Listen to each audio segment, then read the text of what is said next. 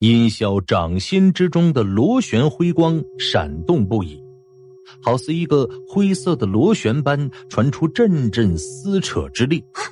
提魂眼中闪过一丝惊慌，双手一抽猩红的锁链，想要把它抽出来，却发现呢，这锁链像是被锁死在地面上，根本是纹丝不动。眼见着那辉光手掌就要打碎天灵盖的时候，提魂的眼中却闪过一丝阴谋得逞的鬼笑。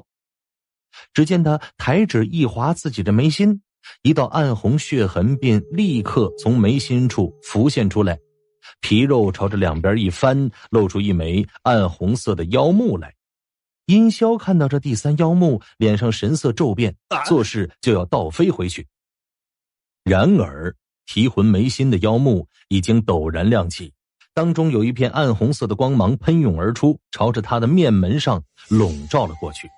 一瞬间呢，殷霄的神魂好似被一记闪电击中，剧烈的震荡起来，身形左右晃了一晃，竟好似控制不住身体，站立不住就要摔倒似的。与此同时，韩立的身影骤然闪现在殷霄的身后。手中青竹风云剑上的金色电丝剧烈的闪动，朝着他的后脑直刺而去。但就在此时，异变突起，看似左右摇晃、无法自持的阴霄脖颈忽然向左一偏，恰巧躲开了韩立的剑锋。其后脑位置模糊光芒一闪，竟然露出了一张煞白的脸颊，赫然还是阴霄。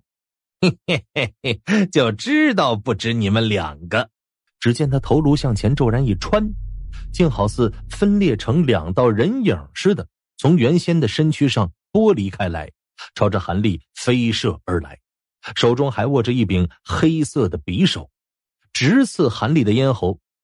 韩立对此似乎早有防备，身后金光光芒骤然一闪，真言宝轮呼啸而出，急速的运转，散发出阵阵的金光。殷霄手臂刚刚刺出，就落入了金色光线之中，立刻呀，像被冻结似的冻住了，速度瞬间减缓了下来。韩立根本无需避让，一掌探出箍住他的脖子，另一只手一提长剑，直接捅入了他的头颅之中。然而剑尖刺入的瞬间，韩立心中猛地一颤，不发觉有点不对劲儿，他急忙一撤手，身形向下一坠。可接着，他的小腹处传来一股尖锐的剧痛。韩立低头看去啊，就见到自己抓住的阴霄小腹处，竟然又有一个阴霄探身而出，手中正握着一柄黑色的匕首，刺入他的丹田上方。刺中韩立的阴霄嘴角泛起一抹笑意，手中匕首骤然向上一个斜挑，一股粗壮煞气凝成的锋刃骤然爆发。直接将韩立剖成两半，五脏六腑、肠肚破碎一地，大鹏的鲜血泼洒而出。殷霄一收匕首，探出舌尖在其上一舔，正欲自得发笑之时，忽听得韩立声音响起：“石道友，准备好了吗？可以了。镜花水月，散！”韩立一声轻喝，法言天地神通顿时撤去。殷霄只觉得一晃神啊。再去看时，就发现眼前哪儿还有韩立的踪影啊？只有他一个人手握着匕首，保持着舔血的姿势。而那两名九幽族幼童已经昏死了过去，被胡三儿左右两个各拎着一个。不！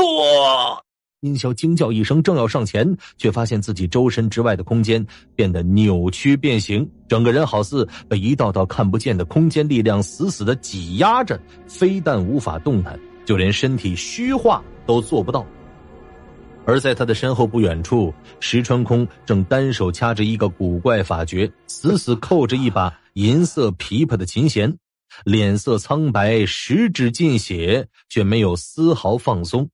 石川空大声的疾呼：“李导友，快快动手，我支持不住了！”他的话音刚落，一道电光就已经爆射而至。在石川空收起空间压制的瞬间，一剑刺穿了殷霄的胸膛。几乎在同一时间，一只漆黑如墨的烛龙巨爪也从上方探了下来，一把扣住了殷霄的头颅上，作势就要把他头颅连同神魂一起捏爆。韩立连忙大叫：“且慢！”说话的同时，韩立手掌连连的翻动，一柄柄青竹风云剑被翻手取出，上面辟邪神雷闪动不已，接连插入阴霄的重要窍穴。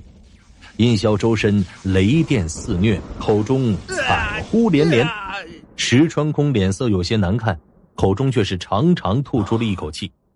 方才啊，提魂先以神通震荡殷霄神魂，韩立呢趁机使出了法炎天地，给石川空争取时间，以秘术催动银色的琵琶，这才在尽可能减少战斗动静的情况下，拿下了太乙境巅峰修为的殷霄。不过呢，石川空之前伤势本就未平，此番又强行催动银色琵琶，倒是受了不小的反噬。禁锢住了殷霄之后，百里岩犹未放松，仍是死死扣住他的头颅。眼见韩立就要上前提魂，开口说道：“主人，你方才在业火通道中消耗过巨，搜火一事还是交给我来吧，你暂且休息片刻。”也好。提魂随即走上前去，抬起手掌，并指朝着自己眉心处一点，一道暗红血痕就自其眉心处浮现出来。皮肉朝着两边一翻，再次露出一枚暗红色的妖目来。只见那妖目之中一片暗红色的光芒喷涌而出，竟是同时扫落在殷霄和两名幼童的身上。同时对三人搜魂，韩立自忖神识强大，但是也绝技做不到。处于昏睡之中的两个幼童突然睁大了眼睛，只是其身躯摇摇晃晃的坐起，两双灰眸中没有半点的神采，就如同这个提线木偶似的木然。殷霄呢，则是本能的抗拒了一下，但随后眼中神光涣散开来，片刻之后，提魂妖目中红光豁然一收。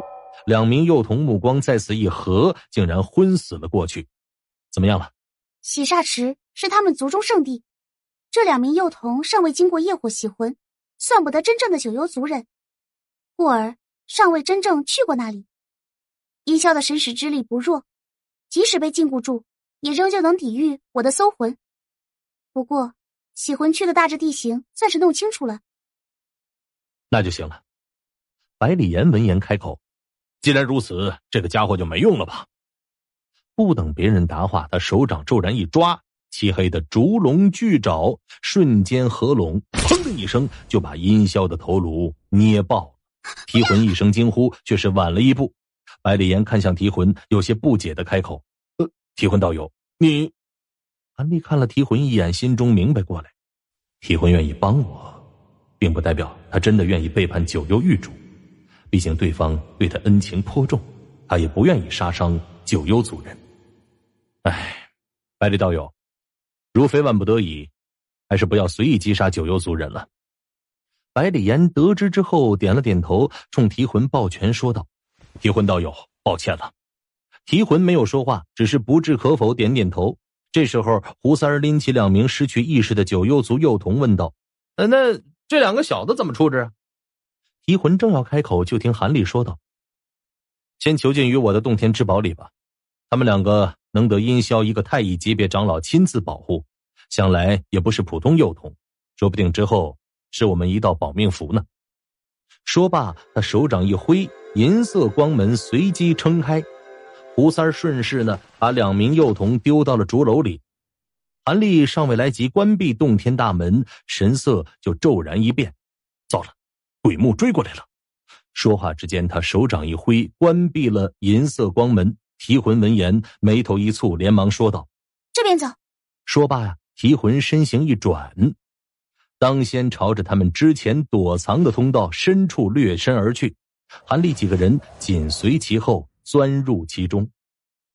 通道向内而去，地势逐渐朝着上方延伸，斜坡尽头却是一个丁字路口。提魂稍一辨认之后，身形朝左一转，带着众人快速离去。几个人离开不足十息，业火湖畔的一个通道出口，一团浓重煞气快速的涌出，在堤岸边停下一凝，从中闪出了一道黑色的人影，正是鬼木。为了追捕韩立等人呐，他现在也顾不得非九幽族人不得擅入洗魂区的规矩。给殷墟传信之后，就撇下了一众傀儡和幽奴，只带着那只毛茸茸的白色小兽，一个人追了进来。一到湖畔，他就看到头颅爆裂的殷霄，双目顿时圆睁，口中发出一声震天暴喝，一股强烈的气势从他身上爆发开来，顿时横扫四面八方，直冲的业火湖泊轰隆作响。一道道巨大的火柱冲天而起，直抵穹隆顶部。感谢各位道友的收听，这一集的节目就到这儿，下期我们继续修仙。